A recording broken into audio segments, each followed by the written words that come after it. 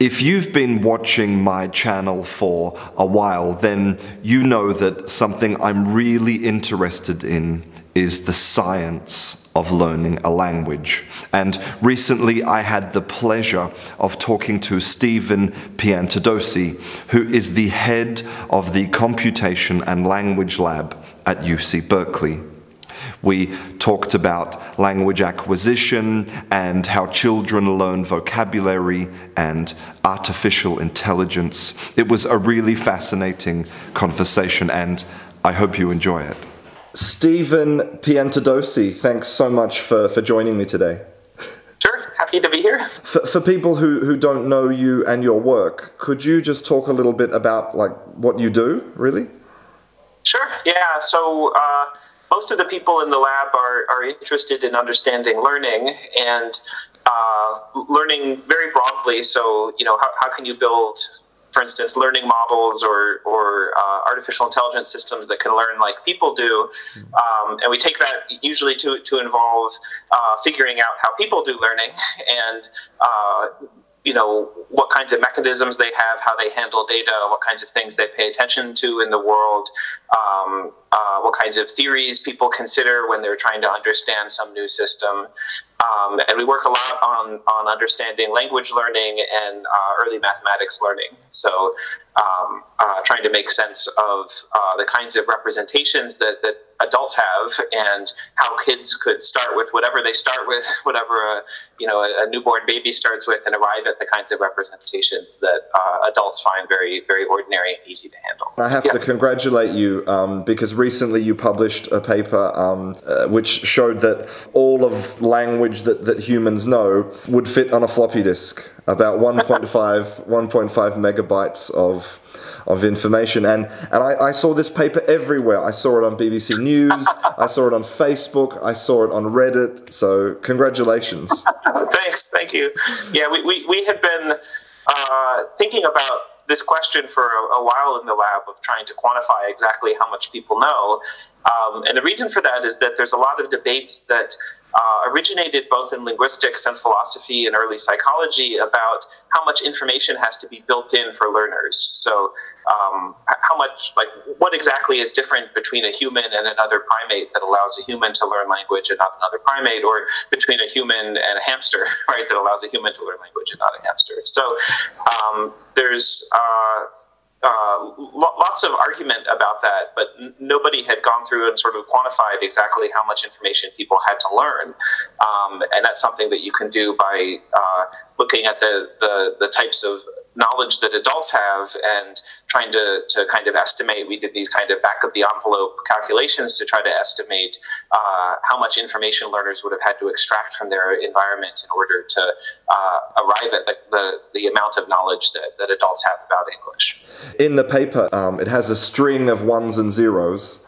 Yeah. Uh, and, it, and it shows that a person, you know, from, from, from the time they're born until they're 18 years old, they would have to learn a sequence like this every single day for 18 years to, to yeah. acquire a language.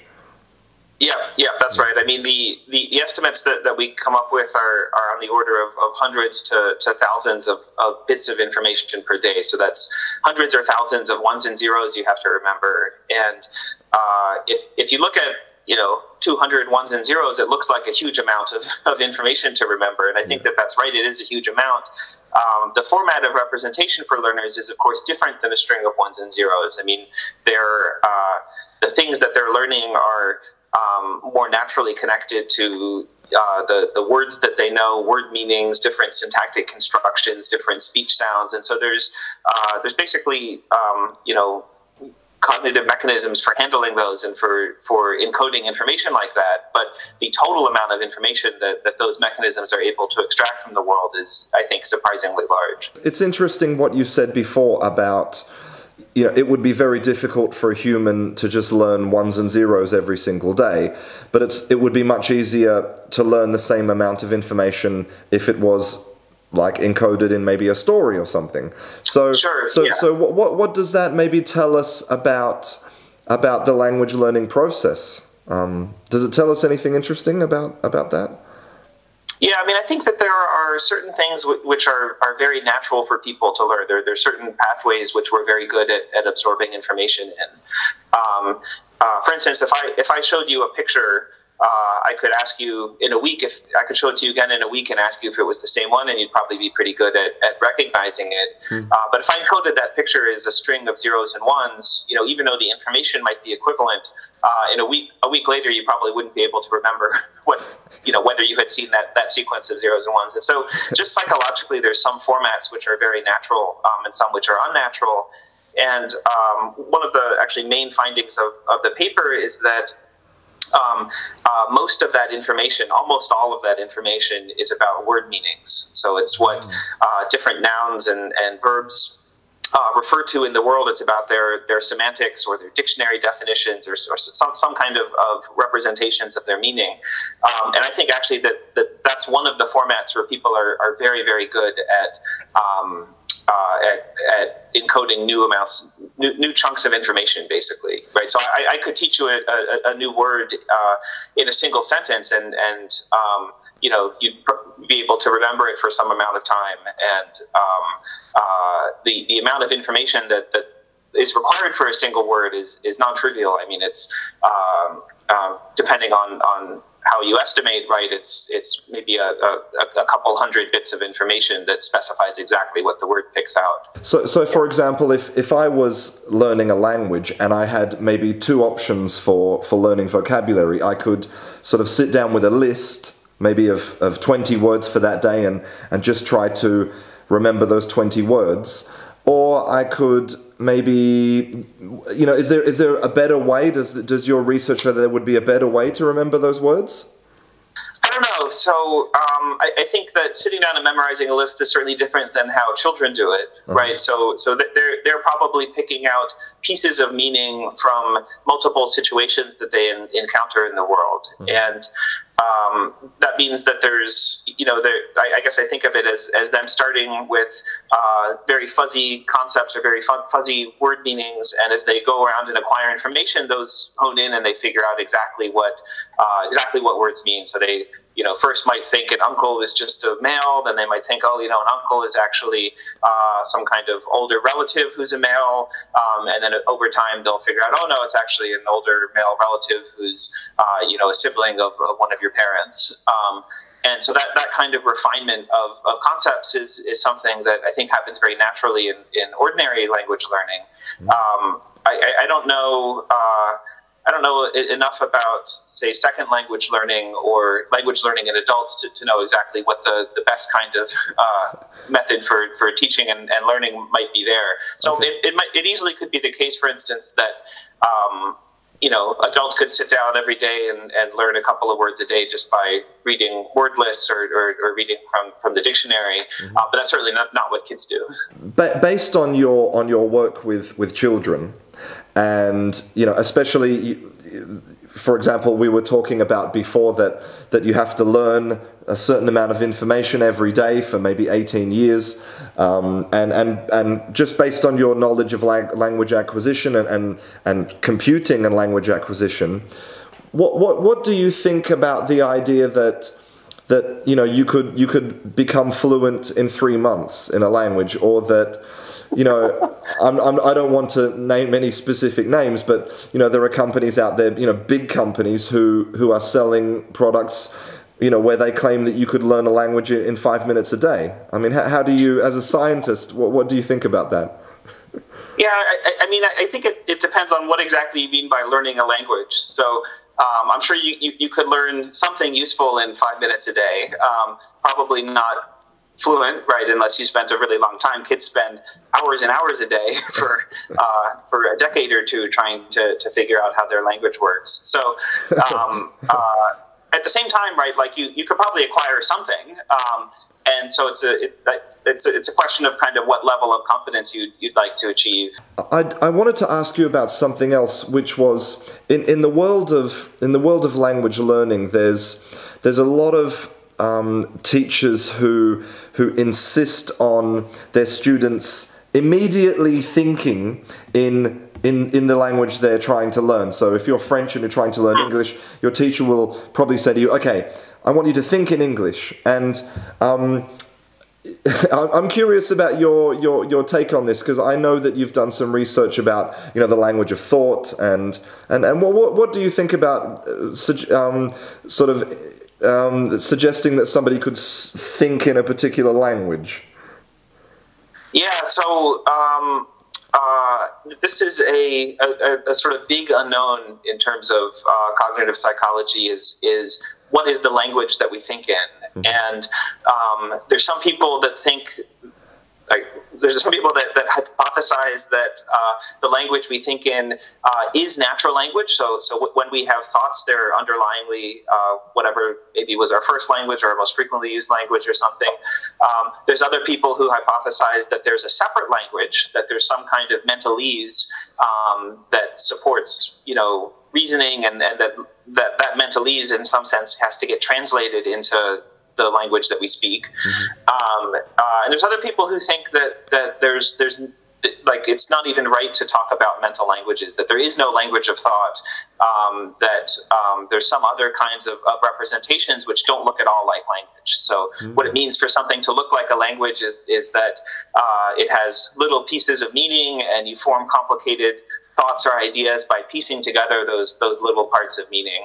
Um, so a, a, good analogy is like how an English sentence works or how a computer program works. Um, you can express a more complicated idea just by putting pieces together, and mm. th- th- that's not at all a uh, an established fact in cognitive psychology. I'd say it's one, one of the more contentious and kind of debated points is uh, to, to, to, what degree our, our uh, non linguistic representations look like that to what degree they, they, they look like something where there's little pieces that are that are put together. Mm.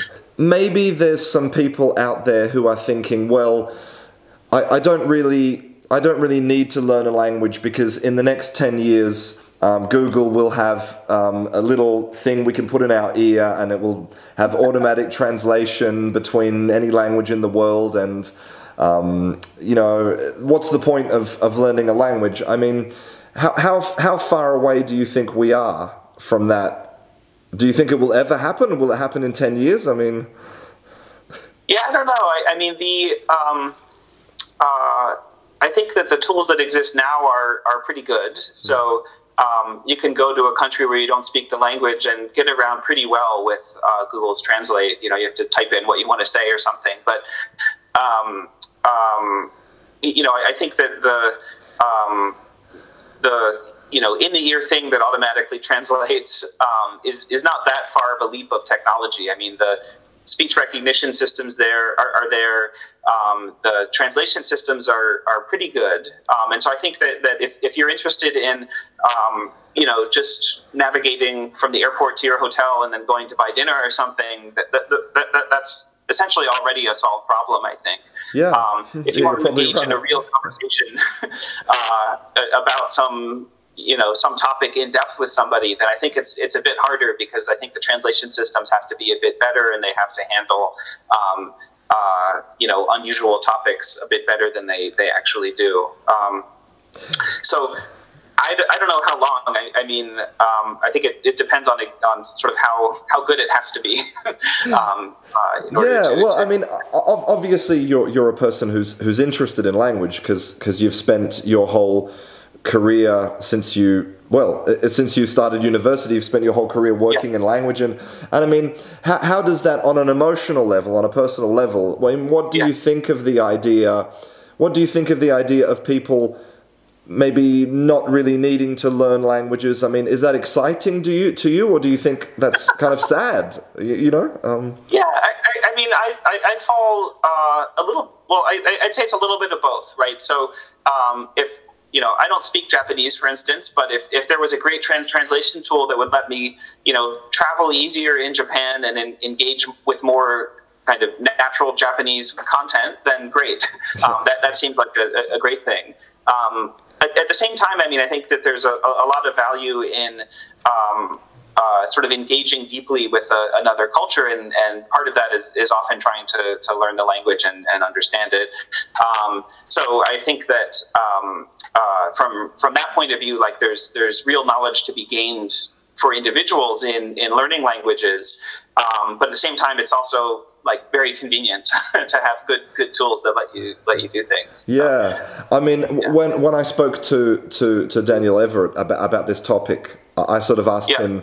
I asked him like, why, you know, why why should people learn languages? Like, what's what's the point? You know, because for for a lot of people, you know, you're in your country. Maybe you travel for two weeks a year, but you know you're not doing business. You have no real necessity to to learn a language. And and he said that. Um, you know, in, in the past, language was taught as a different way to view the world. Language was taught as a different way to think. You know, I know this is more more personal opinion than science, but you know, what what do yeah. you think is is the point of learning a language, really? Yeah, I, I mean, I, I, I, think that that's uh, that's basically right. I, I, I wouldn't say it's necessarily a different way to think. That's actually a whole whole other debate in, in cognitive psychology is whether people who speak different languages think and think differently in some fundamental way.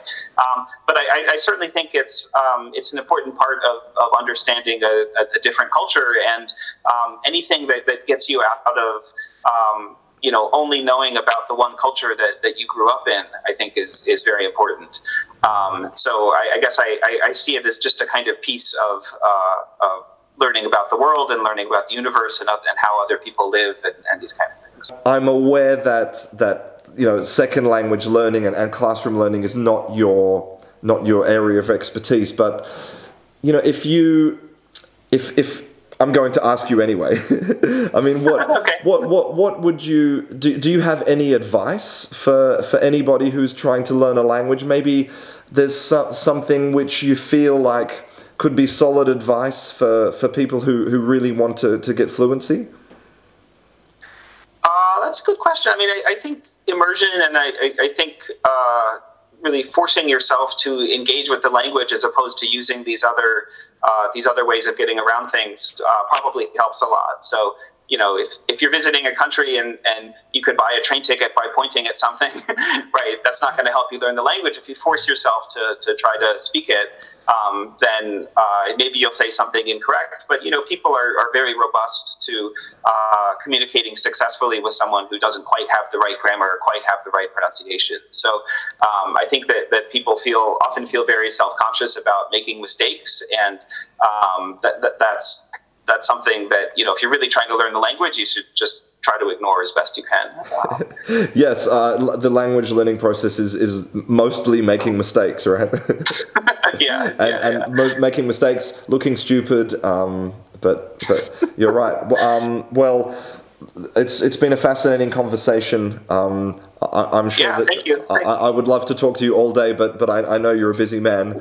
Um, so I'm, I'm just going to, to leave it here and, and thank you very much for your time. Cool. Thank, thank you very much. I'm happy to talk. Thank you. Thanks. Thank you, sir.